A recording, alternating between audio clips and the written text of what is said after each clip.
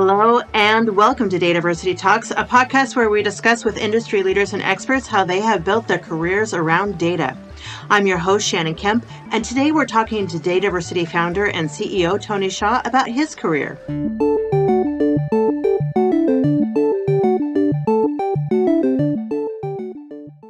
Hello and welcome. My name is Shannon Kemp, and I'm the Chief Digital Manager at Dataversity.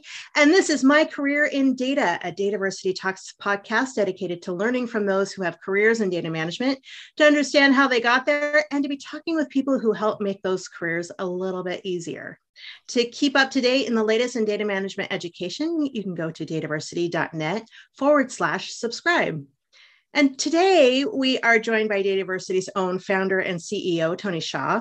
And normally this is where a podcast host would read a short bio of the guest, but in this podcast, your bio is actually what we're here to talk about. Tony, hello and welcome. Hi, Shannon. Thanks How for are you today? Thanks for, for joining us. Very excited to have you uh, on this podcast and uh, and kicking, helping us to kick this off.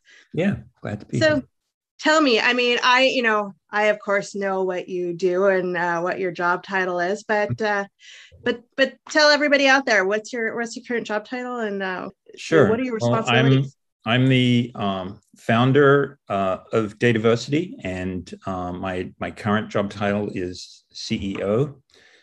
Uh, so I, I, do normal CEO stuff in that role, kind of oversee what everybody else is doing, and um, figure out what the company as a whole, uh, you know, what sort of business we should be involved in, provide um, governance over uh, all the various functions, um, and uh, just kind of try to keep my my hand on the tiller so that we're mm-hmm. heading in the right direction. I love it. Well, no, that's not your only job, right? You hold several different uh, roles. Well, day to day. So, um, you know, there's there's all the usual meetings to do the things that I I just mentioned. Um, primarily, I'd say I'm I'm a content person. I think where I add the most value is in figuring out what our content should be directed at, what um, what audiences it uh, needs to serve, how we go about serving uh, the information and education needs of our audience, you know, and when I say content, I mean both in terms of the subject matter, you know, what the topics are, as well as the formats in which we deliver that. You know, that's probably half my role. Um, so when we develop a new conference, for example, or when we're developing any any uh, new event, um, it, you know, I'm very involved in defining what that event is going to cover, uh, what sort of speakers we're looking at. Um, I'm very involved in uh, reviewing and selecting the presentations and deciding what balance of topics needs to be uh, included in that event in order for it to best address uh, our audience's needs. Tell me a little bit about Dataversity, why you founded it, and how and what Dataversity is. Uh, honestly, I didn't. I didn't get there immediately. Um, uh, I I grew up in Australia. For anybody who's wondering what my accent is, it's it's uh, not entirely North American, but I've I've lived more than half my life in North America at this point. But I grew up in Australia, and I joined a company down there that uh, was involved in the development of business conferences, and it was an international company that uh, had an office in New York at the time, but uh, I started out as a conference developer, conference producer uh, with that organization. It was called uh, IIR for the Institute for International Research, and it became it became a hugely successful organization. It, it sold eventually for almost um, or, or, for over a billion US dollars um, after many years. I was I was long gone at that point, but um, it, many folks may have heard of it. Anyway, I um, I, it, it turned out I was very good at figuring out what people wanted to learn. Um, and you do that through a fairly simple process of calling people up. Um, back before there was email capability, um, uh, we would uh, read the, the newspaper, uh, read articles. We would find out um, who the experts were in a particular field. We would call them up and say, you know, we're, we're thinking that this could be a topic that is interesting for people to attend a conference on. The very first conference I did was designed for corporate secretaries, which in Australia is kind of a chief legal and administrative function, um, often also a financial role. So uh, I talked to a number of corporate secretaries about what they needed to know in order to do their job better. And, you know, the weight of that input would then go into developing uh, a conference agenda. I would call up and talk to CPAs and lawyers and, and, uh, you know, regulators and the people who's, who, who were responsible for advising corporate secretaries and develop a conference that way. And so it, it just turned out that, and the next one I did was for um, human resource professionals. Uh, then I did one for real estate developers and, and construction companies. You know, you would you would in this job kind of go from one industry to another uh, and figure out what information needs do people have and develop a conference, design a conference specifically for them. And uh, it turned out I was just very good at at figuring out what those needs were. Essentially, uh, my my method, if you like, was to imagine myself in that role at a big organization or, or whatever was appropriate. You know, if it was a small organization, uh, just you know, what's it like to have this role at that organization? What sort of questions would I be asking myself? And then that became my my way of designing an educational event. Um, and I would I would talk to the speakers and say, "This is these are the questions that people want answered. Um, can can we invite you to do a presentation that addresses these?" So from there, um, when I when I moved to the US, uh, the US is obviously a much larger and more specialized market. People don't don't spread themselves across multiple industries in quite the same way that we did back then. So uh, I eventually got drawn more and more into the technology space, and some of the the conferences I developed back in the late '80s were um, around uh, superconductivity uh, neural networks, yes, neural networks actually began way back in the 80s. They're not just a function of the past decade. Uh, we did uh, things like uh, over the counter financial options, um, which eventually became responsible for the global financial collapse. So, um, probably should own up, own up to that one.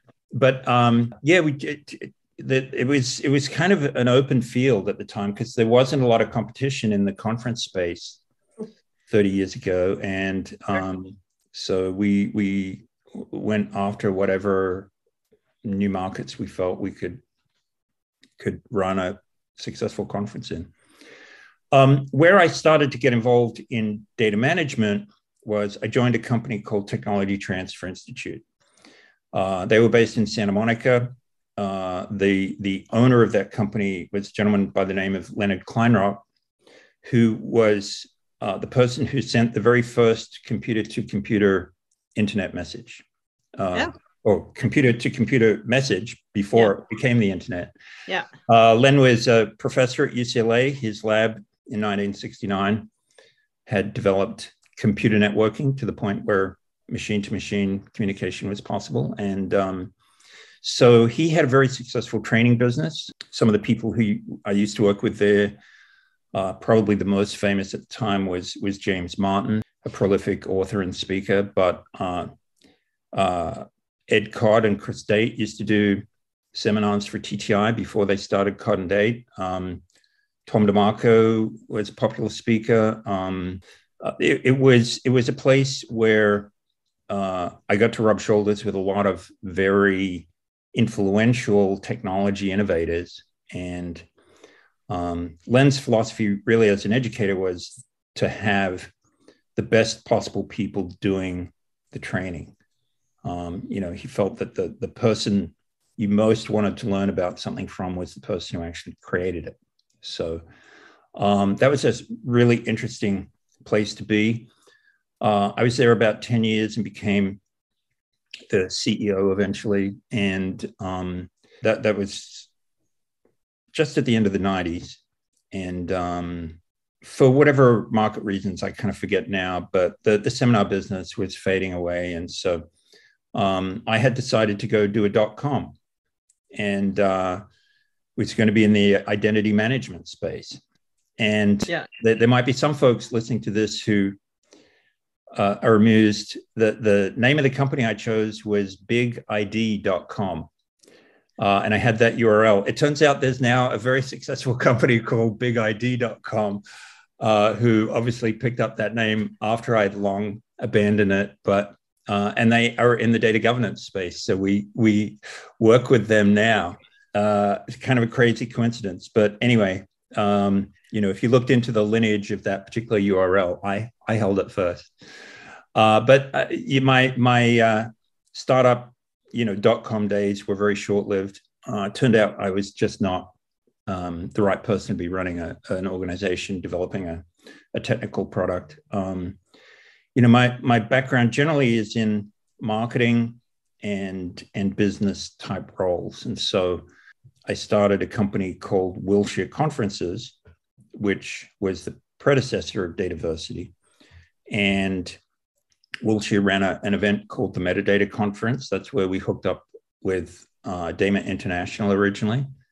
And um, so that was that was where I became more involved with data management um, and uh, you know progressively uh, moved towards um, the creation of Dataversity, really the the genesis of Dataversity was that at Wilshire conferences we were um, we I, I, think we just had two events at the time, but um, you know it's just not very descriptive. It describes that we do conferences, but it didn't describe um, that we were educating people, that we were involved in data. So and one of my staff at the time came up with the name of Dataversity, which just was immediately popular with everybody uh, on staff. And we, we decided to go that, that way. And then shortly thereafter, I met you.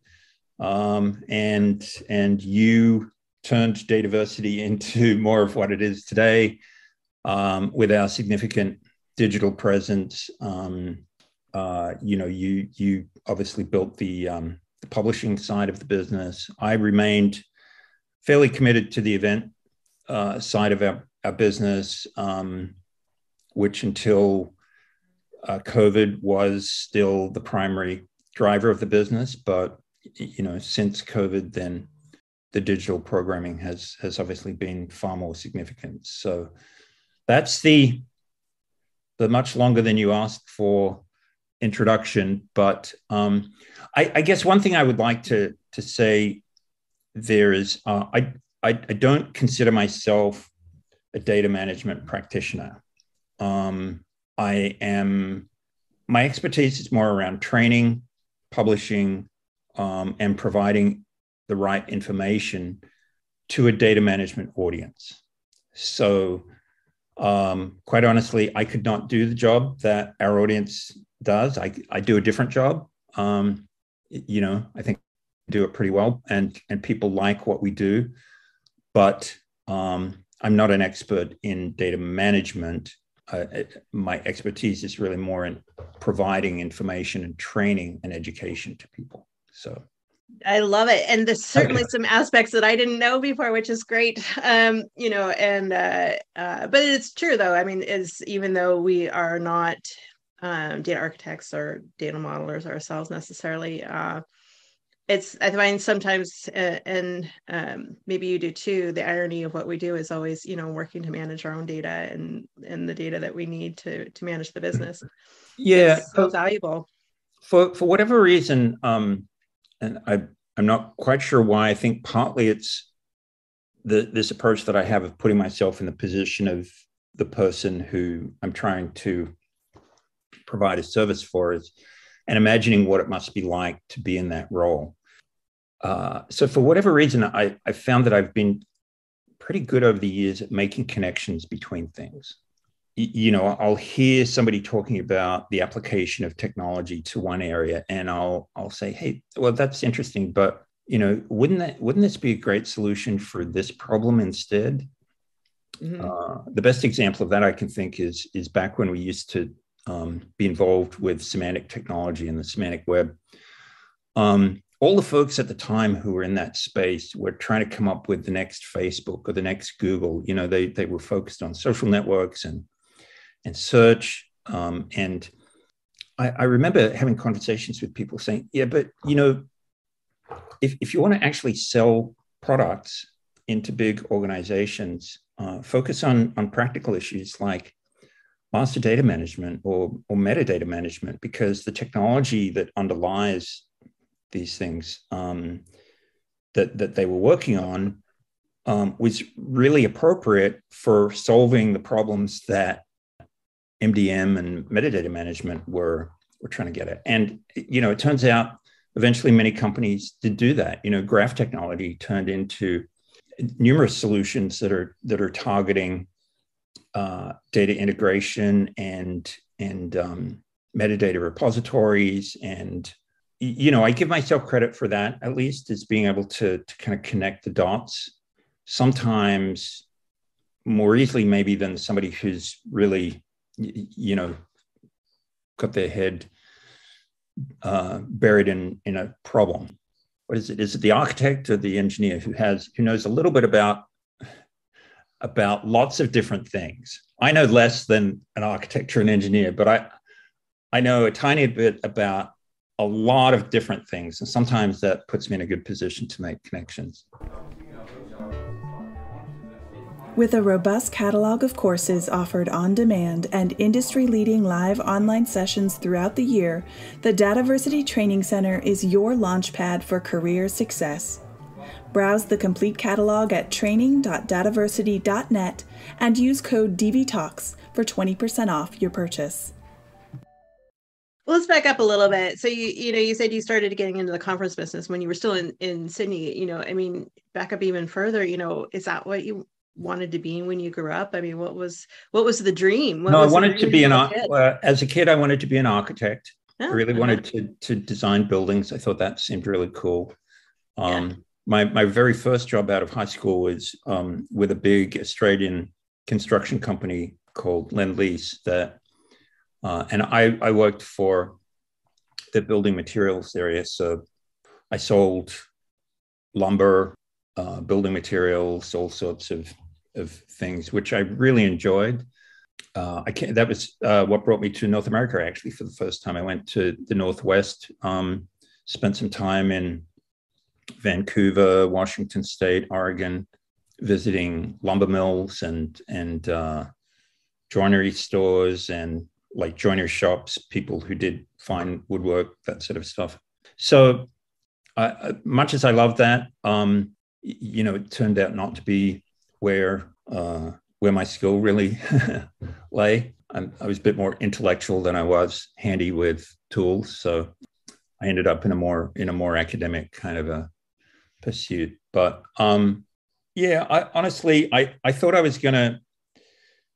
Uh, I did a business degree. I thought I was going to end up working for um, Rank Xerox, sending uh, selling uh, photocopiers or something. I don't I don't know. I just uh, I should mention I started out doing a marketing degree, had ambitions of of being uh, you know in consumer marketing or something, but I, I failed my consumer behavior course twice, which was a psychology course. And um, so I was excluded from the marketing school and had to uh, go back a couple of years later and to do an accounting degree instead, which, as it turns out, was was not of any detriment to my career. In fact, I think having an accounting degree has been incredibly valuable for me since then. Uh, I've never worked in accounting, but to this day, I I use that knowledge in different contexts. Um, and it, it just helps me to understand business so much better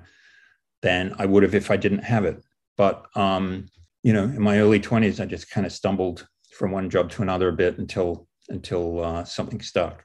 So I I wish I could say I had an ambition that I I jumped into and you know got qualified for, and but um, most of the people who end up uh, in in the conference business, at least, and a lot who end up in the publishing business, do th- so through a fairly circuitous route.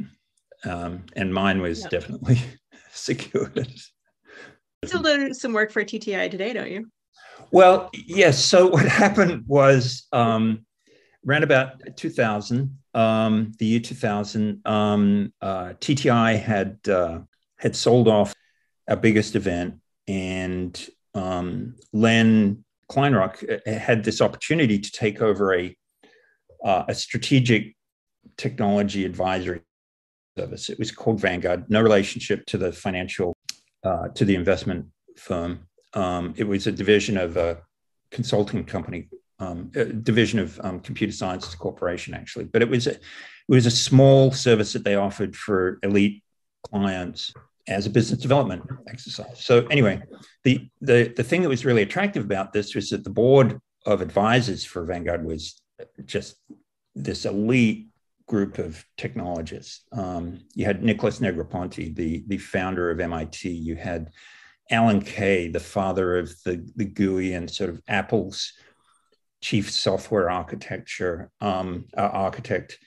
Uh, you had Gordon Bell, who was you know, the father of the VAX. John Perry Barlow, a little bit of an oddball in that group, uh, but a, a very uh, prominent commentator and writer about the emerging digital space, the emerging um, cyberspace. Uh, John John was such a character. He used to be a, a lyricist for the Grateful Dead. Had so many great stories. Um, there was Bob Lucky, who was uh, the the chief research guy at Bell Labs, executive director of Bell Labs. So, anyway, um, Len really wanted to to get involved in this and to to take it over because CSC was resigning it, and I was CEO of TTI at the time, and we inherited it. Um, it was a very difficult business to run at first. We didn't really know how to do that, but eventually came to grips with it, and I, I kind of stumbled into the role of of running the meetings. I mean, there was nobody else to do it, and you know, running the meetings was was a combination of just keeping us on time and on topic and herding herding all the cats because you can imagine the board members there were, you know, they they weren't really going to take direction from someone like me, um, which turned out to be an incorrect assumption. And actually, the most valuable business lesson I, I, ever learned came from exactly that situation, but I can return to that in a minute. Anyway, uh, then shortly after that, I went off to do my dot com, but Len asked me to, to stay in the role that I had. Um, and I, I just, uh, there, there were various um, owners and, and managers of that business over the course of the next many years. And, but they kept asking me to, to continue this particular role uh, of managing the meetings, and it became um, such a significant part of my own education over the years. Um, you know, I think in in every business, but especially when you're responsible for providing people with education, you know, you need you need input. I mean, being right. productive at your job it's one thing, but without the intellectual input to keep things going to, to keep your perspective fresh, then it's it's very easy to get stale. And uh, this particular opportunity lasted for well, it's still going. Uh, I'm actually running one of the, their meetings here in LA in June, but uh, of course with COVID, uh, everything's kind of shut down. So haven't really done much for the past couple of years. But uh, yeah, my my role there is to um, keep us on time, keep us on topic, and you know, I think I think probably one of the reasons I've stuck around is that I I have continuity. You know, I understand the culture of that particular business, um, and it's not a big time commitment for me. But what has been fabulous about it, uh, from the standpoint of Dataversity, is it's given me access to such a lot of interesting people who I've been able to bring into the Dataversity fold. uh, a guy like Doug Lenat, for example, the the CEO of of Cyc, um, you know, probably the single largest, most consistent project on artificial intelligence in, in the history of technology. And um, Doug had spoken at many of our events. He he always, aside from just being a good speaker um, and very amusing, he just uh, has such a lot of value to add in terms of helping people understand complicated topics. And all of the board members were like that. That's why they had the role that they did. But yeah, anyway, um, the the thing that I was going to mention that I uh, just touched on um, was actually Doug who took me aside at the very first of these TTI meetings because he could see that you know I was I was really being differential, deferential DEF to the board members and the uh, the the people in the audience who were mostly C level technology people, and he could see that I was being, you know, looking for them to direct what happened next instead of in my role as manager of the, the business and manager of the meeting, instead of me taking charge and running the meeting, which he said, you know, I can see that you you don't feel comfortable sort of bossing these these people around, which I acknowledged. He said, just disavow that notion at all. Your role on this day is to run this meeting, keep it on time, and they they want you to tell them what to do, where to be next. You know, we're we're ending this conversation now. We're going on to the next thing, and um, it took me a while to internalize that, uh, but it it really, in, in retrospect, was the most valuable piece of professional um, advice I ever got because it, it became so applicable in other situations later. It's like that was my role. Um, that's what was expected of me. If I didn't take that responsibility and execute it, then it wasn't going to get done because uh, nobody else was going to, you know, nobody else had the the, right. the position to do the things that needed to be done. So it's been tremendously helpful. I've, I've passed that advice on to um, numerous folks, for example, who uh, who worked for the same organization. You know, that, that it's very intimidating. I mean, we would we had Nobel Prize winners. We had uh, sure. you know CEOs of, of huge organizations. Um, Bill Gates and Larry Ellison spoke at those meetings, for example. Um, and you know, there's a difference that's given to those folks because of their their position. But in the context of that meeting everybody mm-hmm. needed you know boundaries and guidance and um you know they respect you no matter who you are. If you take ownership of that the responsibility that you have and you do it the best that you can. Um so yeah, anyway, I, I've always thanked Doug for that because once you once you do get the confidence to deal with you know senior or prominent people like that, I, I think you know it just becomes so much more natural, and your relationship you just have a much better relationship with them. Yeah. yeah, certainly. I mean, that's amazing advice, certainly applicable to just about anybody in any situation. I've certainly seen you apply that in our conferences um, and uh, and you know and i love the advice that you use to you know stay up to date keep everything fresh keep innovating. I think that's so important for anybody in any job any role um, to to not get stuck and stale. Yeah i think that's one of the things that I, I really learned from working with that board was how to stop and and think. It's so tempting at times to like shut off new ideas um, because you know everybody's heard these stories about how uh, what who was it? The founder of of digital equipment who said that or or IBM I forget which one now said you know nobody's there's only going to be five computers that are ever needed. And the number of stories that that these folks had about missed opportunities because um, many of them had been there sort of from the very beginning. Um, the, the number of stories about missed opportunities just from from not understanding or not being open to understand. Uh, I, I, I, give you the perfect example in my own life at the moment is, um, you know, there's all this uh, uh, talk about the metaverse, you know, this this kind of digital version of reality that is theoretically coming, and and we know that, you know, Facebook is positioning itself for this, and I don't know if this thing is going to happen. I'm like, I, I don't really want it to, as you know, as as somebody who doesn't really participate in uh, online worlds or anything like that. I'm like rolling my eyes, hoping it doesn't come before I I yeah. retire or expire or because uh, I just don't really have any interest in it personally. But um, if I if I allow myself to take that attitude and shut myself off to it, um, you know, I could be missing a huge opportunity either for our business or maybe, you know, for my stock portfolio or for, you know, my my nieces and nephews who are coming up who, you know, want to know where technology is going. I mean, you know, maybe it'll work, maybe it won't, but it, it's I, I don't think I should be making a premature judgment about it right now and and just saying that I don't like it, therefore I don't want it to exist. It um, it's clearly something that I don't understand at this point, and I need to learn a lot more about.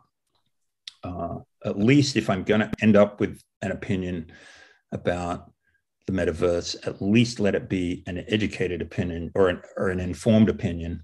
So, in fact, uh, not to not to um, be promoting ourselves right now, but uh, I've invited somebody to talk about the metaverse at our next online conference. Um, so I'm hoping that I learn. I'm hoping that I learn quite a lot from that particular talk. So that's uh, that's some fantastic uh, multitasking. Something interesting for our audience and you. And yeah. um, I love it. Ready to mingle with your fellow data governance practitioners? Join us in Washington, D.C. this December for the Data Governance and Information Quality Conference. Five days packed full of new knowledge, new friends, and new strategies are yours when you register at dgiq2022east.dataversity.net. Take advantage of our super early bird pricing when you register before October 7th. But we do want to talk about Dataversity a little bit. I mean, um, where do you see Dataversity right now you know what is Dataversity why are people coming here? Hmm. what's what's uh what do we yeah um so as you would well know um you know we we uh redirected um our, our original uh, conference company more than 10 years ago now um, to become Dataversity And we, we introduced publishing, we introduced online training, uh, we introduced our uh, a lot of free uh, webinar content. And, you know, the truth is that a lot of that activity was designed to help us develop an audience for the things that, that um, we hoped we could, we could develop a business around, which at the time was mostly the, the in-person events. Um, so I, I think, though, that what we've seen since COVID is that you know companies and individuals now don't differentiate between in-person uh, learning and uh, and online learning to the extent that they used to. I think our in-person programming needs to address a much different set of needs now than just learning. You know, there's there's uh, obviously an experiential aspect to meeting with other people and being in a physical place that we need to um, take perhaps more i don't want to say more seriously but i uh, to take it more into account in future is you know how can we enhance learning by being around other people um, as opposed to simply taking in a, a flow of information? I think where that's um, reflected in our programming. Um, you know, COVID has been a huge learning experience for all of us. uh, at the at the first in-person program that we ran last December, um, we had two different sessions about uh, mindfulness and um, you know what it means to to be in the moment and and to be thinking in terms of the whole person as opposed to just solving this one data management problem. And I think um, I think you'll see that reflected in more of our content in future is is you know putting our jobs in a larger context, a business context, a human context, you know, dare I say, societal context. I, I don't want to get too grandiose about this, but I, I think people probably are not going to be meeting face to face as often as they used to. And therefore, we need to take greater advantage of those in person encounters to, um, to try to address a bit more than we have attempted to in the past. Um, and so mostly what I'm referring to there are these things like, you know, the, the person and understanding the big, the big uh, picture around what we do as opposed to just, you know, being very focused on the, um, the narrow aspects of a particular job function. Yeah something you've hit on a couple times now is is really you know just how you got into the business and what you found good is you know and and bringing up the mindfulness i think it all kind of ties well together is understanding how people learn uh, and you know all these changes that have happened over the last couple of years and understanding that you know mindfulness has become a very important thing in society and and how people manage their day-to-day jobs whether in data management or in something else um, I like that. That's really important to um, how we do business. Yeah, I mean, it's it's an interesting. Uh, I, you know, was probably as guilty as anybody of of sort of saying, you know, when people come to conference, they want to they want to learn as much as they can, and uh, clearly they want to network with other people and enjoy that. But but you know, I, I fell into the trap of thinking that the main the main purpose was just this narrow professional interest. And I, I, think since I recognize that COVID has changed this about me, then I assume it has changed it about a lot of other people too. That, you know, we're just looking for something else now. And I'm I, I can't define what that is for for other people necessarily, but um, you know, I just understand now that we, we need to be broader need to be thinking a bit more broadly about what what it means to attend a week long professional conference and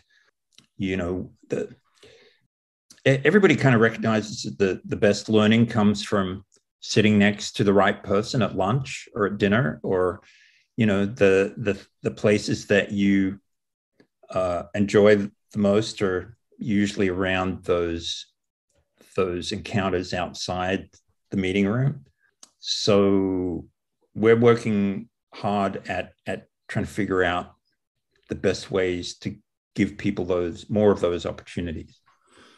Even uh, online, yeah. Uh, yeah, it's. I mean, it turns out it's harder than you imagine to, to transfer that thing to to online, um, but it is possible. So we're working on that that part as well. You know, there's. I mean, you try to create opportunities rather than than force the rather than forcing it you know you can't you can't just squish people together the, the, there seems to be this kind of serendipitous aspect um, of people connecting that I, I can't claim to understand but that, that's probably something to edit out. And it's i think probably one of my favorite things you introduced me to is when we've gone as a company to other co- people's conferences or even you know in we're in social settings at our own conferences you kind of have a rule that we need to all fan out and not sit at the same table. So we have the opportunity for those networking um, and encounters and those uh, and those moments where you meet somebody who just inspires you to do something new and change and bring that back into the fold. Yeah there's a couple of philosophies that uh, I've I've always tried to bring to our in-person events. Um, one is the importance of peer-to-peer learning, meaning, you know, having case studies from people who talk practically about what they do, the you know the successes and failures, the you know if I was if if I was a data architect, I'd want to learn from another data architect as much as or or if not more than I would from somebody who had you know written a lot of articles or uh, you know because because another data architect understands what i'm dealing with every single day. Um, like when i go to another conference i want to hear from other people who are trying to market their their educational products or um, come up with new ideas about how to make meetings more interesting. I'm certainly not diminishing uh, the expertise of of consultants. I think that the, the, the great advantage of consultants is that they get to see experience across, you know, dozens, if not hundreds, of different customer organizations. But if I if I want somebody to really understand my problem, then uh, I want to talk to somebody who who has the same problem as me. Uh, I think that's why so many people talk about coming to uh, an event like Enterprise Data World or DGIQ and, and say, you know, they get such a, their, their batteries are so uh, recharged by the experience because, um, you know, they, they get to talk to people who have exactly the same challenges that they do. And maybe they've come up with solutions to that and that can be helpful. Or maybe they're just, you know, asking the same questions um, that could be helpful as, as well. But, uh, yeah that that peer-to-peer aspect i think is just so important to having a, a the right sort of having a, a, really positive learning environment. So that's that's why uh, that tends to be the the thing that directs us the most. In in developing the content for our events i'm always looking for those case studies. Those those will take priority over you know the the folks who are maybe more expert, but ultimately, you know, program design is is a matter of balance more than uh, almost any other issue. But yeah, anyway, uh, I I feel like I didn't answer the question that you asked about the future of Dataversity. Well, I just I really just asked about what is Dataversity today and what are we doing. So we haven't gotten into the um, future yet. Well, I could uh, yeah, I mean, I can I can answer that to some extent. Um, you know, clearly, Dataversity today is is as an organization much more focused on digital delivery than we were pre-COVID. That's been by necessity. Thankfully, we were actually in the business of digital delivery pre-COVID, so we didn't have to actually develop that capability, um, and we were able. You know, we had kind of a running start, but for many years it was not the the thing that was driving the the bigger portion of the business, and now now it is. Uh, I mean, that'll balance out a bit as we come back to some in person events, but you know. I, I, hate to talk in terms of positive outcomes from COVID because you know there, there really aren't many. But um, I, I, think COVID has um, convinced a lot of organizations that they can still be productive without being face to face 100% of the time. Uh, and from the standpoint of the services that we provide, you know, training can be productive. It's certainly uh, more cost effective in many contexts uh, when delivered digitally.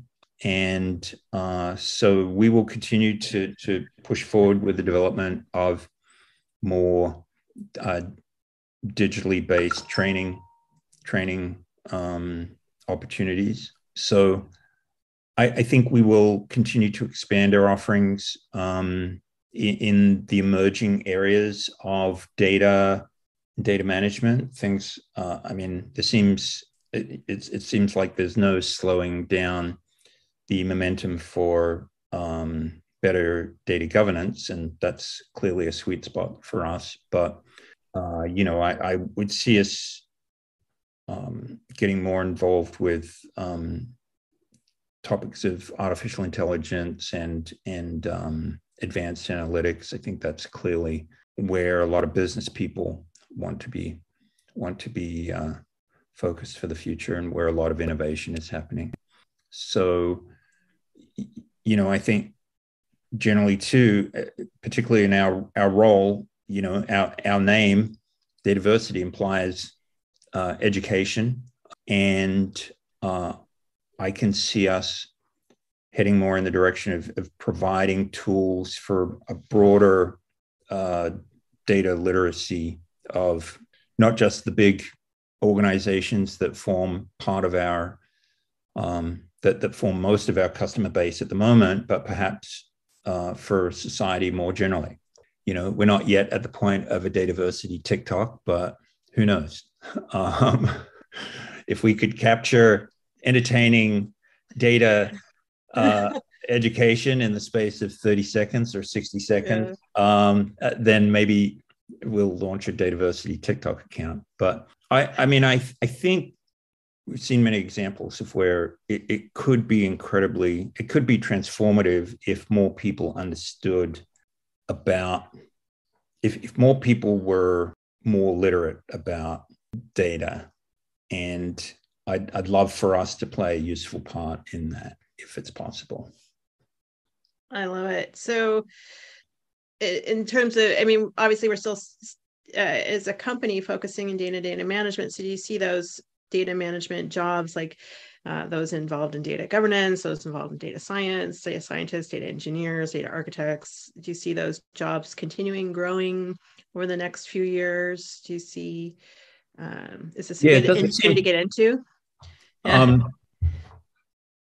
yeah, it doesn't seem to me that that there's anything that will slow that uh, trend down. You know, we've um, we've seen an increasing audience around all the topics that, that we provide. Um, uh, so I my sense is that that will continue. You know, whereas our our focus up to this point has generally been on um, uh, a North American centric, you know, English speaking uh, community. Um, you know as well as I do that when we run um, a, a, conference, uh, we see people from every corner of the world. Um, and so I think um, a big part of our uh, growth in future may well come from um, an international audience. But yeah, I, I, I think we're at the, really at the a very kind of immature level of um, acceptance or or um, you know one of the one of the surveys we did recently of our own community of data uh, governance professionals uh, you know the, the, survey data from that demonstrated that w- there were i think less than 10% of the audience felt that they were at a level of reasonable maturity. They were almost all at the level of we're thinking about it. Uh, we have a plan, but we haven't started, or they were at the level of we've started, but it's still very early days. So, um, you know, I think if you just deal with the folks who are already engaged with us, you'll see that everybody's just just getting started for the most part. Almost everybody is just getting started. So, yeah, I think there's a, there's a long way to go. Uh, any advice you give for people getting into data management? Well, again, I'll, I'll stress that I'm not a data manager myself. However, as somebody who's not a data manager who has become involved very extensively with data management professionals, um, I think the thing that has enabled me to understand what our community has to deal with is that I, I have a pretty good business sense for how data can be useful. And I think if you know if everybody had the opportunity before they got into any professional specialization be it data management or financial management or you know any anything that has more of a specialization i would say try to get a a, a sense for the broader business um, because that's what drives the need for whatever those specialist skills are. And you know, I I'm probably just putting some different words around uh, things that I see data scientists writing about or or um, engineers writing about. I mean, people who um, do startups, for example. You know, some startups come from technical specialists, but for the most part, not. They come from business people who have better business ideas. So I think if if you have data management skills, or, or if you have a, an interest in what data management involves, um, you know, try to get some exposure to the business problems directly from a business standpoint, um, and you will serve yourself and your employer better in the long term. You know, just understanding what it's like. My, my early jobs were in sales and marketing. Just understanding what it's like to be on the phone with a customer or to be standing on the other side of, of the counter in a retail operation. Practical business issues like those where data management can be uh, vital for solving a problem. But without that perspective, then you, you know, it's really hard to appreciate what those opportunities are. So sure. that would be my my broad advice. Um, you know, maybe easier said than done, but yeah, I I speak as a you know as someone with a bit of an entrepreneurial bent, so I like I like to find business solutions. I'm, I'm sort of drawn to that aspect of the, uh, the the data management lifecycle, I guess, as opposed to you know the the detailed technological solutions. But sure. Um, yeah. I love it. Well, anything additional you want to add? You know, certainly this is the time to plug anything that you would like to, to um, plug. I don't know. I feel like I've I've just talked about myself for an hour. Um, yeah, I look. All of us at Dataversity are really excited about getting back to face to face meeting. Um, the the recent the the fact that we were not ultimately able to do that with Enterprise Data World this year was a huge a huge disappointment, and you know we understand why. I mean, people people are still reluctant to get back, particularly we we made that decision during the Omicron surge, and I, I think it was the right one. But you know, the the experience we had last December when we were able to get back together, uh, even with a, a, smaller audience, was just it, it, was kind of a combination of of relief, um, inspiration. Um, you know, it felt so good to be face to face, learning and and talking about stuff with people uh, just a few feet away from you. Um, look, I, I, I hope obviously that there's there's no more setbacks. Um, we are very careful when we go on site. Um, we will continue to be very careful. You know, we we actually hire a company to do financial mod. Uh, pardon me, not financial modeling, to do um, risk modeling. Um, prior to each of our events this year, uh, based on the location of the event, the um, the configuration of the meeting space, the the type of uh, attendees who are. Um, we we work with a company called Epistemix who does um, risk modeling of that meeting delivery to tell us the, the risks of meeting face uh, of the risks of contracting uh, COVID during a face to face meeting at this point, I'd say are extremely low because um, A, there's precautions, B, that the audience is very safety conscious. Uh, so, uh, you know, I think I think the risks inherent in attending an, a business conference at this point are actually among the best that you might get in any other context.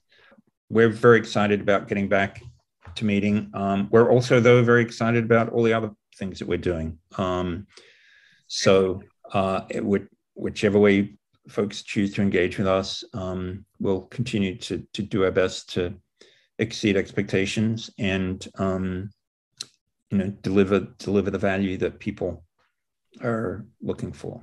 So I love it. And uh, to find out more, you can always go to dataversity.net for everything. Find out what we're doing.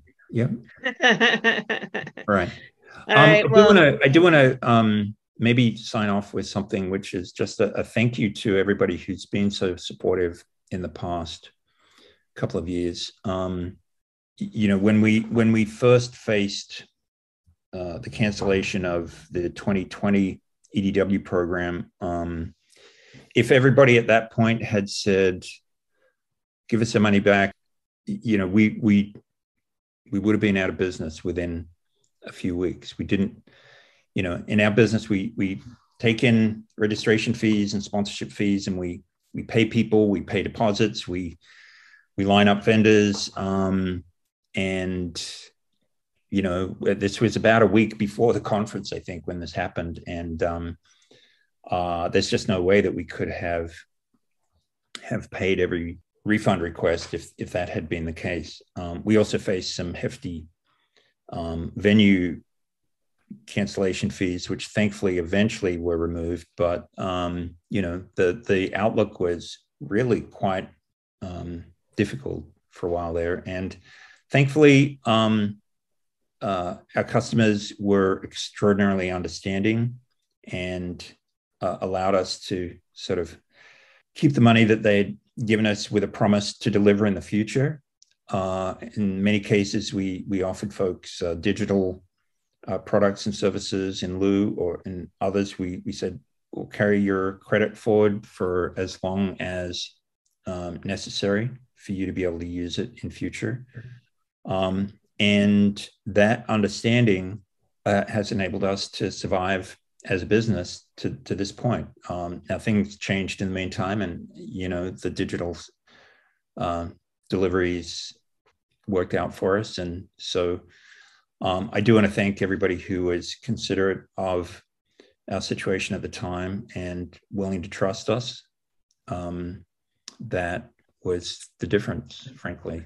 So we will remember that and um, just do our absolute utmost to to um, you know be as good as we can uh, in in future years because uh, we we owe a lot of folks for their their trust. So it's true. I, one of my favorite parts of this job is we work with an amazing community. So yeah, yeah. Thank you for listening to Dataversity Talks brought to you by Dataversity.